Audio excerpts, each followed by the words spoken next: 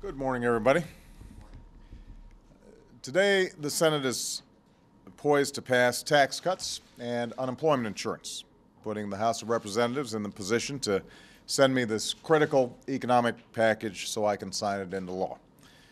I am absolutely convinced that this tax cut plan, while not perfect, will help grow our economy and create jobs in the private sector. It'll help lift up middle class families who will no longer need to worry about a New Year's Day tax hike. It will offer emergency relief to help tide folks over until they find another job. And it includes tax cuts to make college more affordable, help parents provide for their children, and help businesses, large and small, expand and hire. I know there are different aspects of this plan to which members of Congress on both sides of the aisle object. That's the nature of compromise. But we worked hard to negotiate an agreement that's a win for middle class families and a win for our economy. And we can't afford to let it fall victim to either delay or defeat. So I urge members of Congress to pass these tax cuts as swiftly as possible. Getting that done is an essential ingredient in spurring economic growth over the short run. And spurring economic growth is what I'll talk about later this morning when I meet with some of America's top business leaders. That includes Jim McNerney of Boeing, who also heads up my Export Council, and several members of my Economic Recovery Advisory Board. This is one of many discussions we'll be having in the months ahead to find new ways to spur hiring, put Americans back to work, and move our economy forward. As I said when I was running for president, as, and as I've said since, I believe that the primary engine of America's economic success is not government. It's the ingenuity of America's entrepreneurs.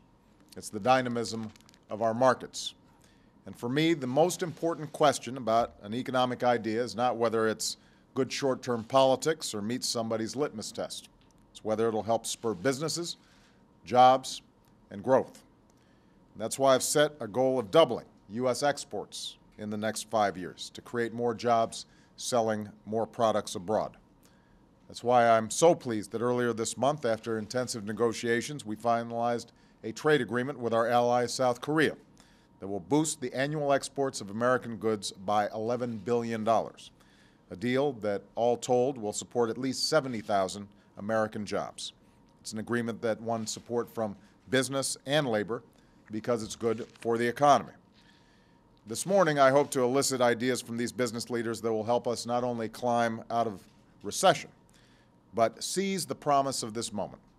Ideas about tax reform, ideas about a balanced approach to regulation that will promote rather than undermine growth, ideas that will help encourage businesses to invest in America and American jobs at a time when they're holding nearly $2 trillion on their books.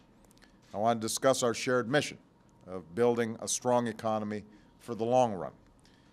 We know some of what we need to do to outcompete other countries in the 21st century. We need to offer our children the best education in the world. We need to spur innovation and new industries like clean energy that will create the jobs of tomorrow.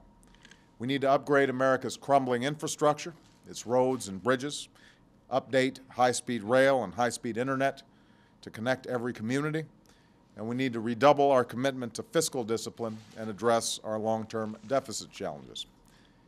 We know the path that will lead to economic success. The only question is whether we will take it, whether we have the political will to do the work. I'm committed to taking that path. I know America's business leaders are as well. And I look forward to talking to them this morning and working with them in the months and years to come to make sure that we're adopting the best ideas for growing our economy and making the 21st century another great American century. Thank you very much, everybody.